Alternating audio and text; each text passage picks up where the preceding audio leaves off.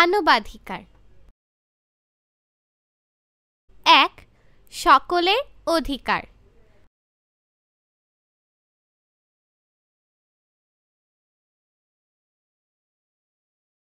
জাতিসংঘ উনিশশো আটচল্লিশ সালের দশই ডিসেম্বর মানুষের অধিকারকে স্বীকৃতি দিয়ে অনুমোদন করেছে মানবাধিকার সার্বজনীন ঘোষণাপত্র।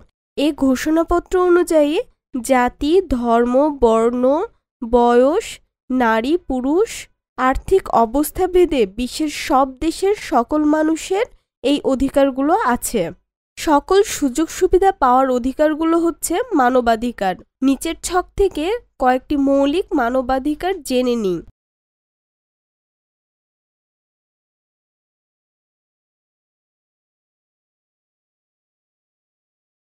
মানুষ জন্মগতভাবে স্বাধীন।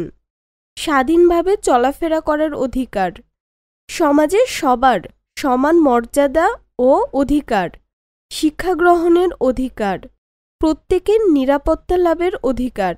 নির্যাতন ও অত্যাচার থেকে নিজেকে রক্ষা করার অধিকার। বিনা কারণে গ্রেপ্তার ও আটক না হওয়ার অধিকার।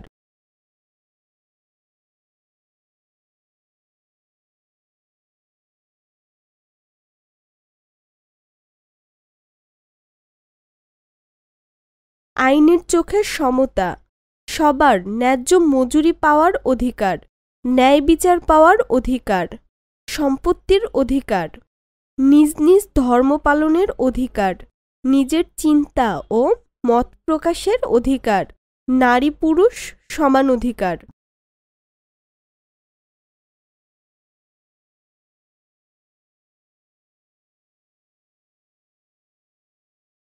আমরা সবার মানবাধিকার রক্ষায় কাজ করব এবং এ বিষয়ে সকলকে সচেতন করব। কেউ কোনো মানবাধিকার বিরোধী কাজ করলে প্রয়োজনে প্রতিবাদ করব।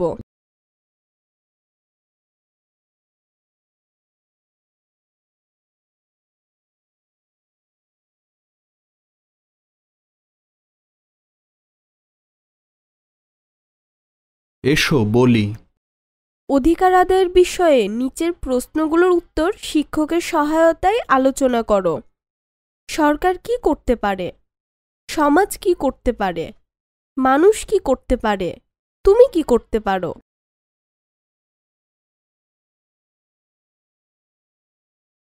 এসো লিখি। একটি অধিকার বেছে নাও এবং এ অধিকারটি কেন গুরুত্বপূর্ণ তা বর্ণনা করো। কাজটি জোড়াই করো। আরও কিছু করি। যে কোনো একটি অধিকার নিয়ে ছোট দলে ভূমিকাভিনয় করো। ধরে নাও এই অধিকার থেকে তুমি বঞ্চিত। অধিকার আদায়ে তুমি কি করতে পারো?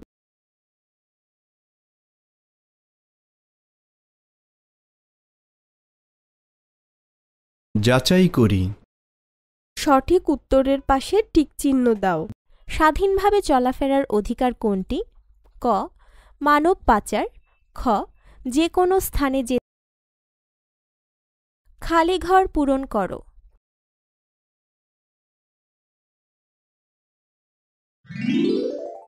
ক, মানুষ হিসেবে সবার সুন্দরভাবে বেঁচে থাকার অধিকার আছে। খ, মানুষের ভালোভাবে বেঁচে থাকার প্রয়োজনীয় অধিকারকে বলে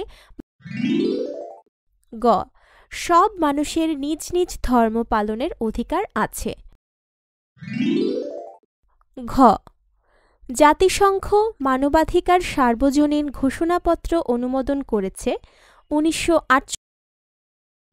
দুই অটিস্টিক শিশুর অধিকার।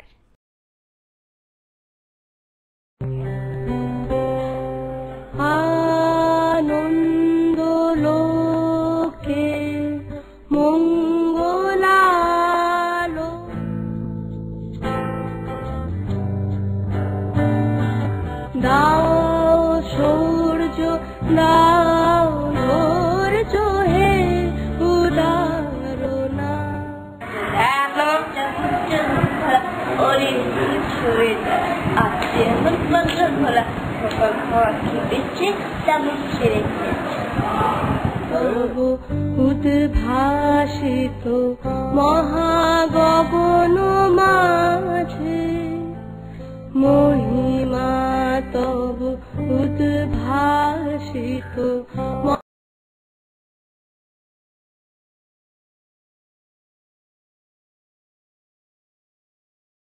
প্রতিটি শিশুই একে অপরের থেকে আলাদা। কেউ চঞ্চল, কেউ শান্ত। কেউ ভিড়ে থাকতে ভালোবাসে, কেউ একা একা। তবে আমাদের সবারই নিজের মতো থাকার অধিকার আছে। উদাহরণ হিসেবে আমরা অটিস্টিক শিশুদের কথা জানতে পারি। এ ধরনের শিশুদের দলে কাজ করতে অসুবিধা হয়। অন্যের স্পর্শেও তারা আঁতকে ওঠে। তাদের ভাষার ব্যবহারও ভিন্ন। তারা একই কাজ একটানা করতে থাকে। তাদের বিশেষ যত্ন নিলে তারাও সমানভাবে বিকশিত হওয়ার সুযোগ পাবে। তারা হয়তো কোনো খেলনা নিয়ে না খেলে বরং শক্ত করে ধরে বসে থাকে, গন্ধ নেয় বা ঘণ্টার পর ঘণ্টা সেগুলোর দিকে তাকিয়ে থাকে। কোনো একটি বিশেষ জিনিসের প্রতি প্রবল আকর্ষণ থাকে এবং সেটি সবসময় সাথে রাখে। অটিস্টিক শিশু শারীরিকভাবে সম্পূর্ণ সুস্থ। কোনো কোনো অটিস্টিক শিশু অন্য শিশুদের মতোই লেখাপড়া করতে পারে।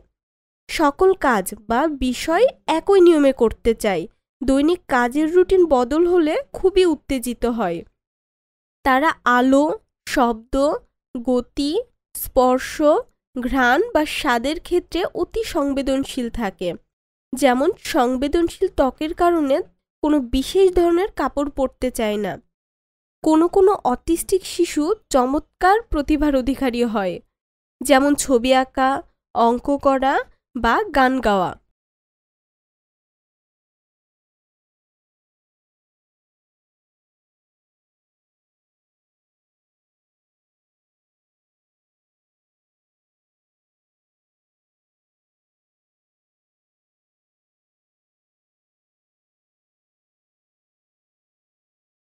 তাহলে একটি অটিস্টিক শিশুর সাথে ক্লাসে কেমন ব্যবহার করা উচিত? আমাদের বুঝতে হবে, প্রতিটি শিশুই একে অপরের থেকে আলাদা এবং তাদের ধৈর্য শক্তিও অনেক কম। আমাদের উচিত সবার সাথে মিলেমিশে থাকা। আমরা এমন আচরণ করব না যাতে তারা কষ্ট পায় এবং উত্তেজিত হয়।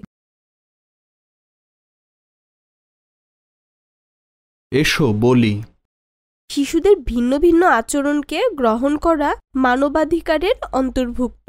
আমরা সবাই একে অপরের থেকে আলাদা। তোমার শ্রেণীতে শিক্ষার্থীদের আচরণে কি ধরনের পার্থক্য আছে? শিক্ষকের সহায়তায় আলোচনা করো।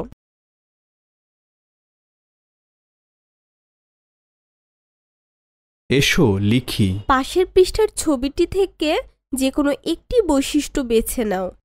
তোমার ক্লাসের কোনো শিক্ষার্থীর আচরণ যদি এমন হয় তবে তুমি তার সাথে কেমন আচরণ করবে? ভেবে দেখো সবচেয়ে ভালো আচরণটি কি হতে পারে? আরও কিছু করি। অটিজম ছাড়া মানুষের আচরণে আর কি কি তারতম্য থাকতে পারে? আচরণগত ভারসাম্যহীনতা দেখা দিলে কি হয়? যাচাই করি।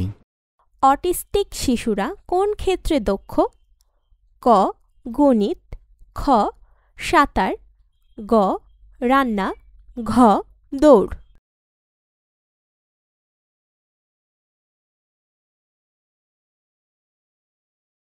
তিন, শিশুদের মানবাধিকার লঙ্ঘন।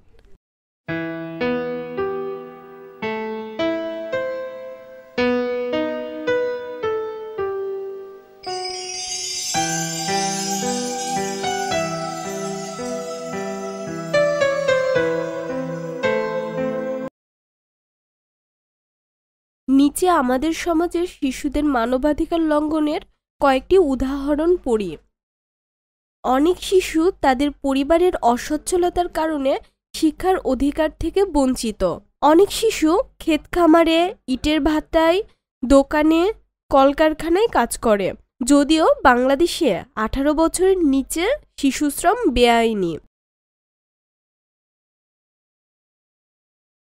পরিবারের সামর্থ্য না থাকায় শহরের অনেক শিশু গৃহহীন। অনেক সময় সামান্য কারণে বা বিনা কারণে শিশুদের শারীরিক নির্যাতন করা হয়। এতে তাদের মানবাধিকার লঙ্ঘিত হয়। শিশুদের অনেক সময় আমাদের দেশ থেকে বিদেশে পাচার করে দেওয়া হয়। এটি মানবাধিকার বিরোধী কাজ।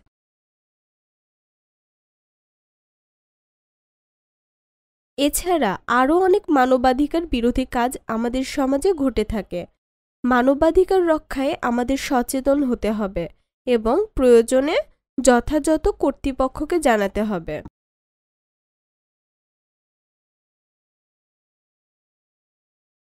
এসো বলি।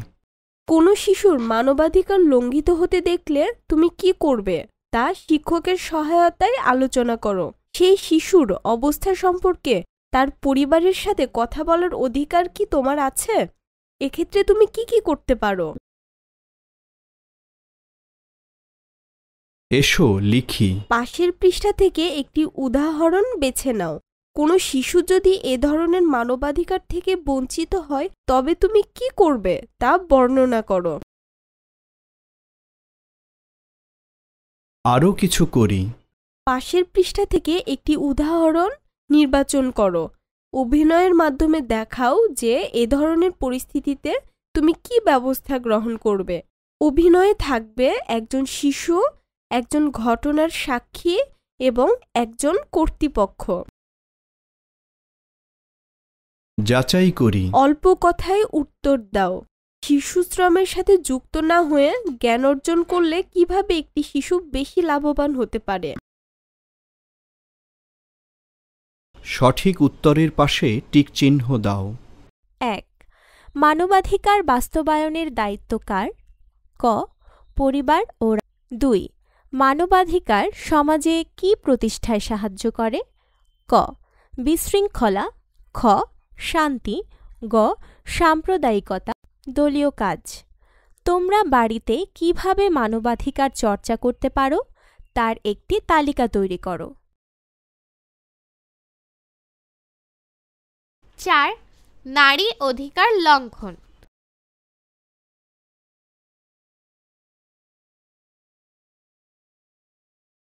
আমাদের সমাজে কীভাবে মেয়েরা তাদের অধিকার থেকে বঞ্চিত হচ্ছে, তা জেনে নেই। মেয়েরা ছেলেদের মতো শিক্ষার সমান সুযোগ পায় না। চাকরি ক্ষেত্রেও মেয়েরা পিছিয়ে থাকে। কাজের ক্ষেত্রে মেয়েরা ছেলেদের মতো সমান পারিশ্রমিক পায় না। বাড়িতে কাজের সহায়তাকারীরা যথাযথ পারিশ্রমিক, খাবার ও স্বাস্থ্যসেবা পায় না। বাড়িতে কাজের সহায়তাকারীদের অনেক সময় আমাদের দেশ থেকে অন্য দেশে পাচার করে দেওয়া হয়।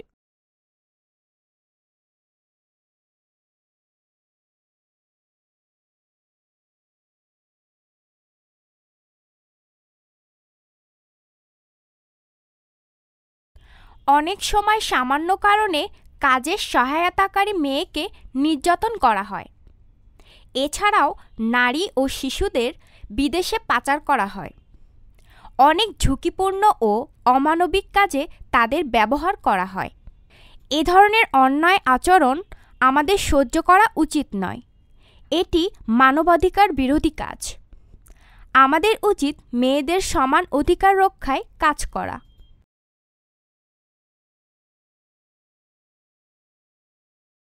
এসো বলি। নারী ও পুরুষের সমান অধিকার নিয়ে শিক্ষকের সহায়তায় আলোচনা করো। অসমতার কিছু উদাহরণ দাও। এক্ষেত্রে তুমি কি করতে পারো? আচরণ পরিবর্তনের ক্ষেত্রে আমরা কীভাবে ভূমিকা রাখতে পারি?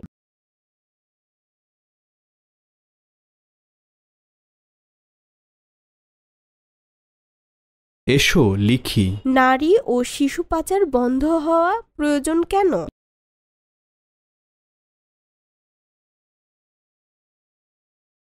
আরও কিছু করি। ছোট দলে ভূমিকাভিনয় করো। ধরো তুমি এমন একজন মেয়েকে জানো যাকে বাইরে ছেলেদের মতো খেলতে দেওয়া হয় না।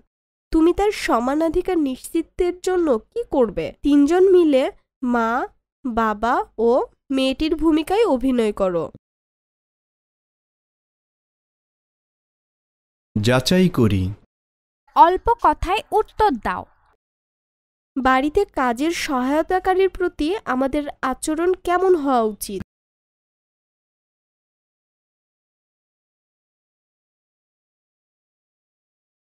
বাম পাশের অংশের সঙ্গে ডান পাশের অংশ মিল করো। সঠিক হয়েছে। সঠিক হয়েছে। সঠিক হয়েছে। সঠিক উত্তরটি বলো। এক, কাউকে মানবাধিকার লঙ্ঘন কাজ করতে দেখলে তুমি কি করবে? ক, দুই, মানবাধিকার রক্ষায় আমাদের কি করতে হবে? ক, পুষ্টিকর রুমা নামের একটি দশ বছরের মেয়ে অন্যের বাড়িতে কাজ করে। গৃহকর্ত্রী তাকে ঠিকমতো খেতে দেয় না, ভালো কাপড় চোপড় দেয় না, বিভিন্নভাবে তাকে বঞ্চিত করে। এখানে মানবাধিকারের কোন কোন দিক লঙ্ঘন করা হয়েছে? সবাই নিজ নিজ খাতায় লেখো।